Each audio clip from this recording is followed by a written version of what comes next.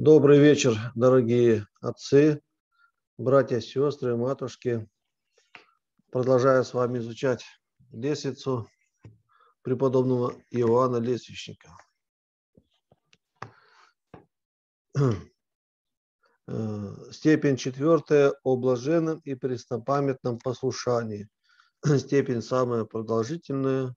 Даже сегодня нам до конца, видимо, не удастся разобрать. Итак,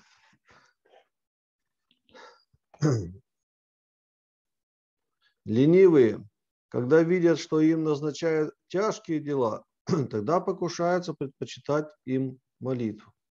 А если дела служения легки, то отбегают от молитвы, как от огня.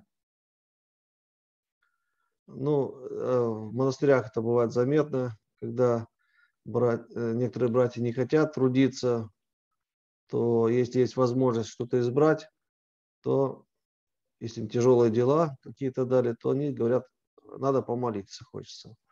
А когда дела легкие или их удобно исполнять, их э, где-то э, желание есть исполнять, тогда стараются не идти на службу, а бежать на такие дела.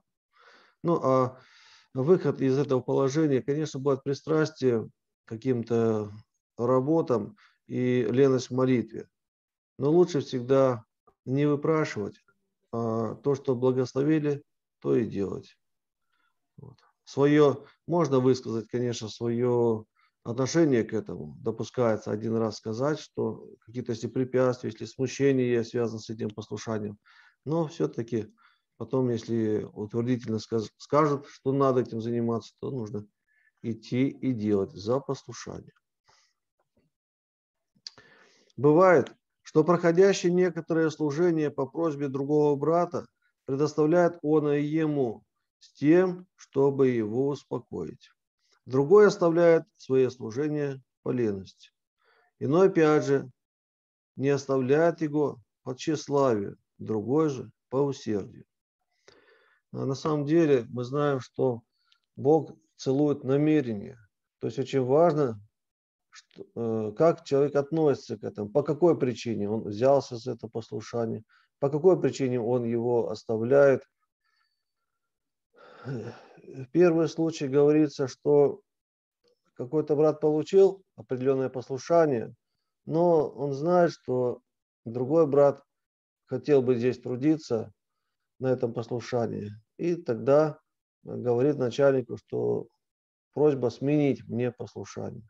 То есть из любви к брату, предпочитая себя брату, он просит оставить ну, то есть перевести его на другое послушание.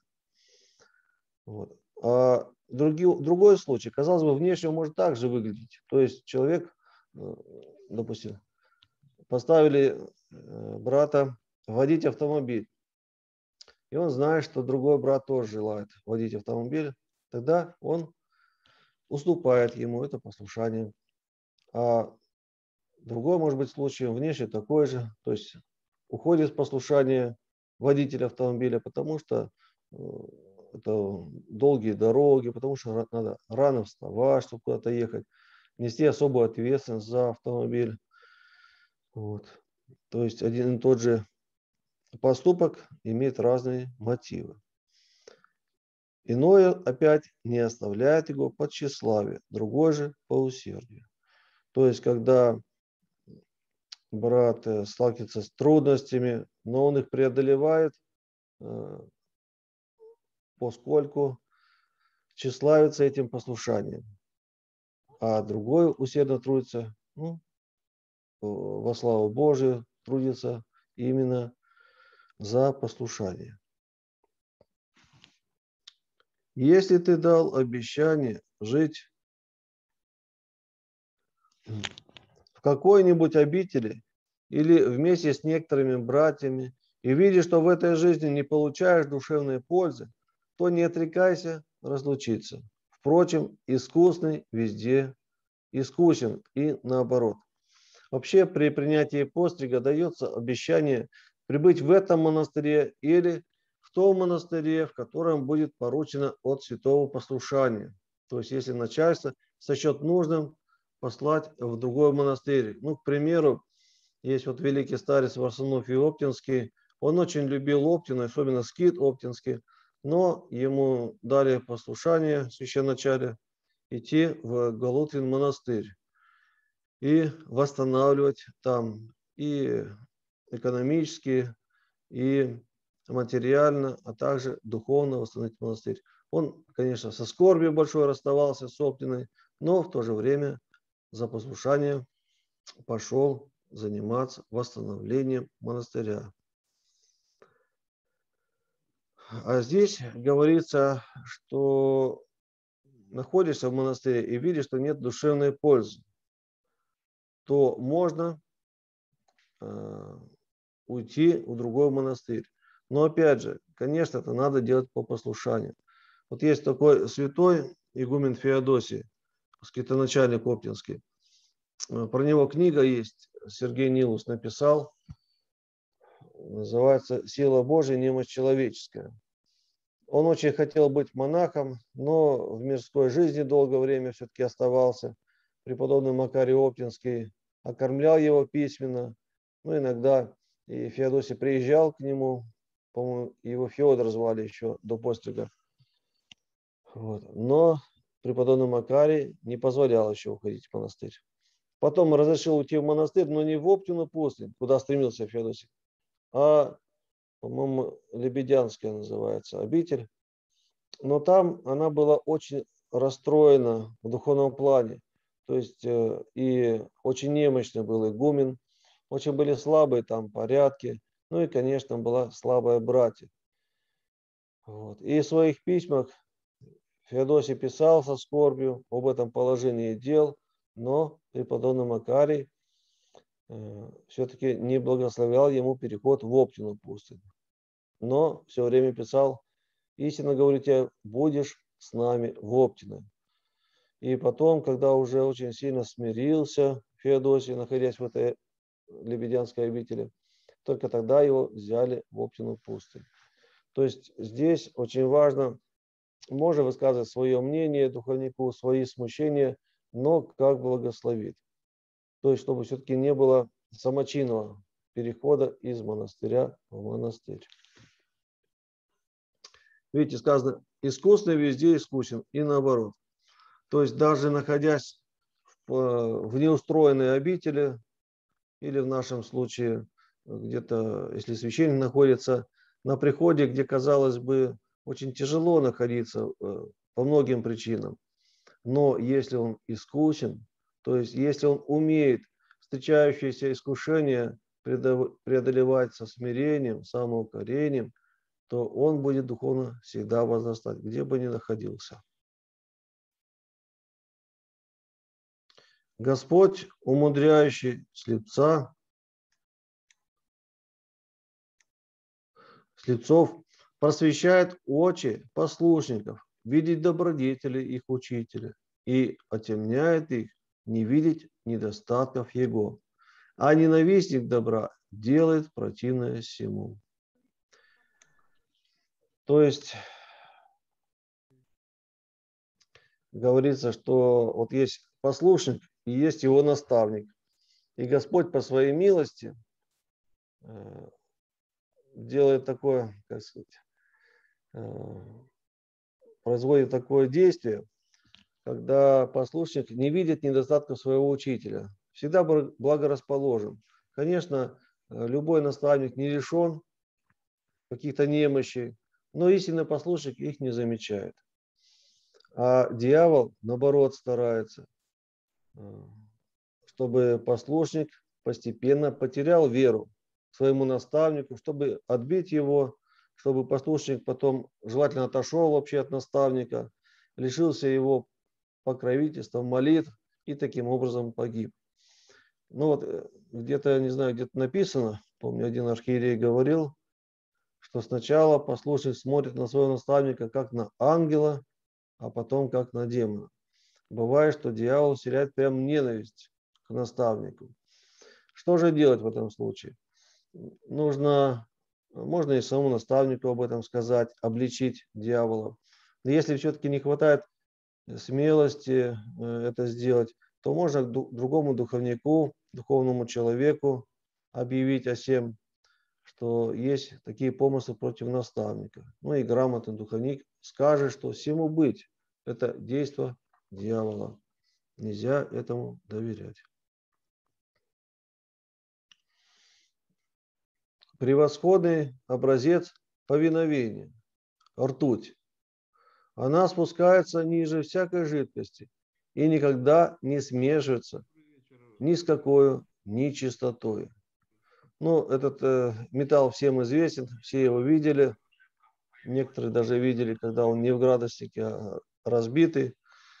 И э, действительно, э, куда бы ни поместили ртуть, всегда она смиряется, то есть ниже все, всех становится на самом дне и не, не смешивается ни с какой грязью. Это для нас образец, что всегда надо смиряться и не примешиваться ничему. Ревностные наиболее должны внимать себе, чтобы за осуждение ленивых не подвергнуться самим еще большему осуждению. И Лот, как я думаю, потому оправдался, что, живя посреди таких людей, никогда не осуждал. Вот. Так, на стадии ошибка.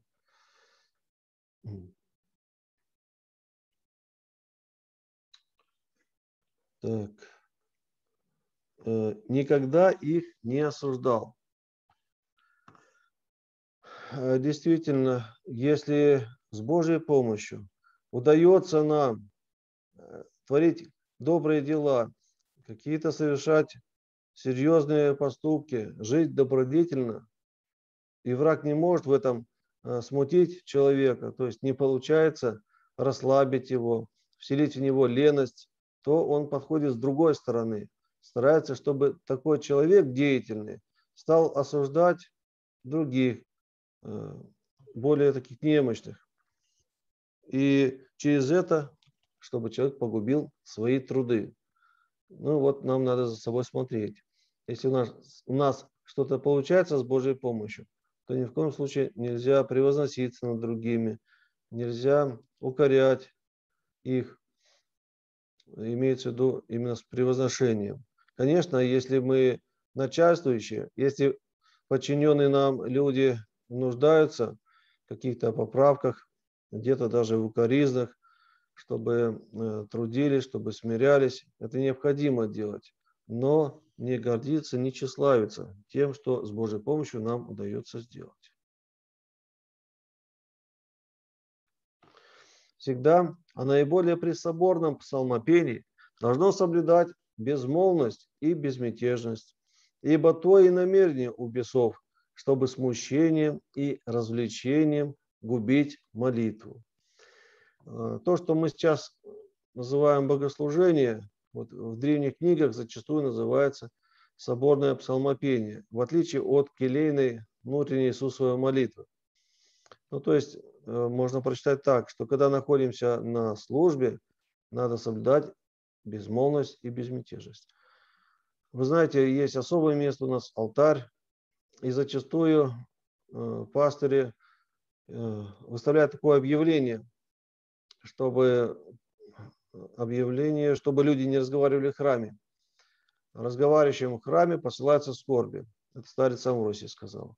Но в алтаре мы себе позволяем разговаривать так в алтаре, конечно же, нужно еще строже. И действительно надо соблюдать безмолвность. Ну а безмятежность, это значит не, не заниматься другими делами, не относящимися непосредственно к службе. То есть, если бес не может отвратить человека от похода в храм на службу, то старается ум его занять чем-то суетным и заставить человека, чтобы он разговаривал э, в храме или в алтаре и этим погубил молитву. Послушник есть тот, кто телом предстоит людям, а умом ударяет в небеса молитвой. Где-то сказано, что э, о умной молитве сказано про пророка Моисея, когда он вывел народ из Египта, и уже погоня была, Египет, египетский фараон гнался, и тут еврейский народ упирается в море. И тогда вопль был из сердца Моисея. Он устами он ничего не говорил, он молчал, но такая молитва была сильная. Он молился, Господи, Ты для чего вывел нас из Египта? Неужели для того, чтобы мы здесь погибли? Спаси Твоих людей. И настолько была сильная молитва, что Господь сотворяет чудо, и море расходится. Так и послушник э, предстоит, тело своим предстоит людям. Ну, то есть трудится, вот таскает кирпичи, или пасет коров, или на огороде трудится. Вроде так среди людей, но э, умом своим не суетится, а все время творит молитву Иисусову умом. Есть очень редкие ну, послушания, которые, при которых сложнее молиться. А так в основном э, труды не препятствуют держать ум в молитве. Обычно такие простые работы, и поэтому можем в это же время и молиться. Досады, уничижение и все подобные случаи – полынная горечь, а похвалы, честь и одобрение – это мед. Но рассмотрим, какое свойство того и другого. Полынь очищает всякую внутреннюю нечистоту, а мед обыкновенно умножает желчь. То есть говорится, что ну, нелегко терпеть досады и уничижения и всякие такие скорби, оскорбления.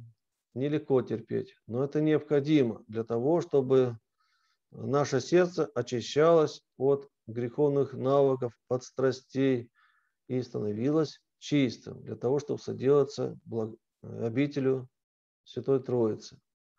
А если мы слышим свой адрес похвалы, честь, одобрение, нас всех хвалят, все уважают, вроде, казалось бы, приятно нам, но это нас не очищает зачастую, а наоборот может развивать тщеславие, может отдалять от Бога. Ну, конечно, то и другое бывает случается и мимо нашей воли. Но если похвалы, честь и одобрение мы слышим, то все-таки внутренне надо смиряться. Внутренне вспоминать свои грехи. И так же самое, когда оскорбление, тоже вспоминать свои грехи, понимать свое страстное э, состояние и молить Бога о чистоте. То есть универсальное средство все принимать со смирением и самоукорением. Тогда будем получать пользу от всего. Признак истинной веры в том состоит, чтобы без сомнения покоряться повелевающим, даже тогда, когда мы видим, что повеления их противны нашим ожиданиям. Здесь бывает такая дилемма, и некоторые спрашивают, надо ли слушать начальство, если какие-то указания, которые ну, не принимает наша душа, и есть сомнения, а воля Божия это или нет. Но раньше проще было, да, в те, в те времена, когда жил Иоанн Лесвичник, зачастую наставники были людьми, людьми святыми. Скажем, вот у Авы Дорофея наставники, Иван и Варсануфи, над ними видели сияние, это ну, великие старцы, и там было меньше сомнений в их поручениях. А сейчас даже вот во времена святого Игнатия Бринчанинова уже надо было размышлять, исполнять или нет. Но в частности, вот он советует, ссылаясь на преподобного Нила Сорского, смотреть э, поручение нашего наставника, согласно ли со святым Евангелием и с учениями святых отцов. Ну, только надо там пишется со смирением рассмотреть аккуратно к этому подойти, потому что враг может вселить недоверие к духовнику. И если мы увидим, что не совсем это по евангельскому духу, то очень кротко нужно уточнить у наставника, что батюшка, можно вот так действительно, что-то у меня смущение, а, по Евангелию ли будет такой поступок. и тогда услышать поучение и либо утвердиться в одном, либо в другом. Если что, можно еще с кем-то из духовных людей посоветоваться. То есть э, послушание без рассуждения, что Игнатий говорит, это уже нашему времени не дано. То есть все-таки надо э, еще э, самому размысливать из-за того, что наставники зачастую не святые люди. Но мы с вами пастыри, и нам приходится, мы уже даем послушание, мы даем поручение, и, конечно, надо смотреть, чтобы наши поручения соответствовали Божьей воле, соответствовали Духу Евангельскому, чтобы не смущать э, такими поручениями двойственными, двусмысленными, не смущать паству, стараться, чтобы все было в духе Евангелия. Можно сразу при первом же объявлении этого послушания, поручения, сразу объяснить, разъяснить, чтобы человек принял это всем сердцем.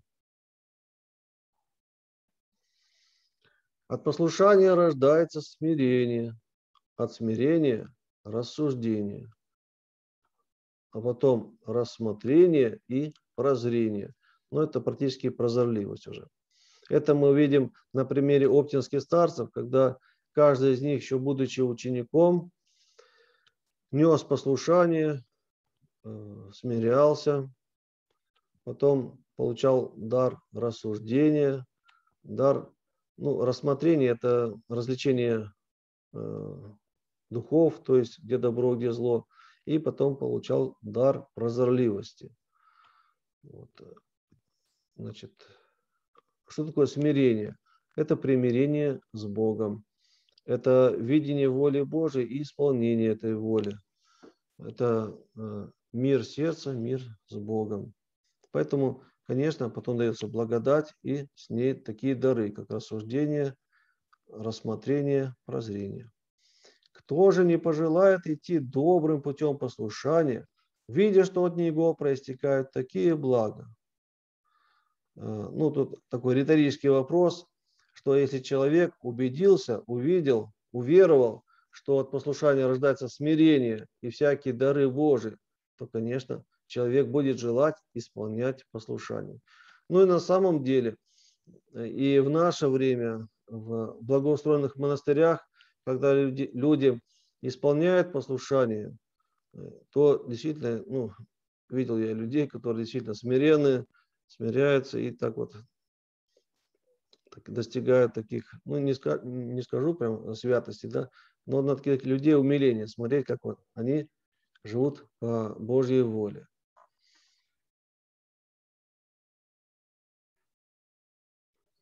Во всю жизнь твою не забывай того великого подвижника, который в продолжении целых 18 лет телесными ушами не слыхал от наставника своего сего привета, спасайся. Но внутренними ежедневно слышал от самого Господа не слово «спасайся», которое выражает одно желание еще и неизвестность, но ты спасен, что уже определительно и несомненно.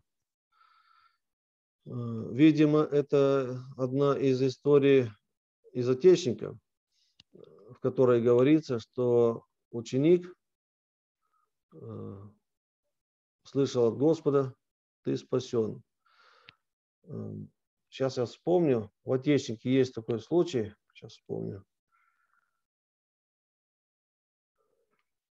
Э, но насколько я помню, э, старец один имел послушника в течение долгого времени, ну, здесь написано 18 лет. Этот послушник служил ему. Вот. И, конечно, вот мы с вами говорим, спаси Господи. Мы желаем друг другу спасения. Также старец говорил ему, но потом, когда уже старец э, приблизился к смерти и увидел, что послушник усердно служит ему все это время, и получил старец откровение от Бога. Вот, позвал однажды своего послушника и говорит, ты спасен, ты спасен. Послушание есть отвержение лицемерия и собственного желания такое, э, такая великая добродетель послушания, когда человек совершенно прост становится, совершенно искренен. Он полностью раскрыт для своего духовного отца и уже не имеет своего желания. Вот опять, если вспомнить взаимоотношения между оптинскими старцами, э, то отмечают современники, что это как будто было э, два тела с одной душой. Настолько единомыслие, настолько откровенность, настолько простота. То есть, очевидно, была святость.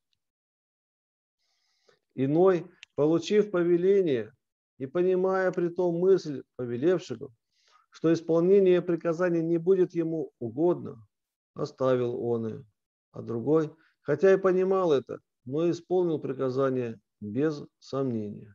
Кто из них благочестивее поступил?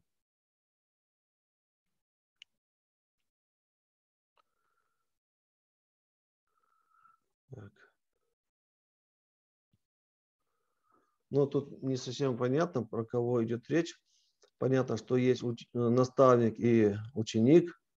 Так вот, один из учеников, получив повеление, понимая, что этим э, желает э, наставник, что исполнение приказаний не будет ему угодно.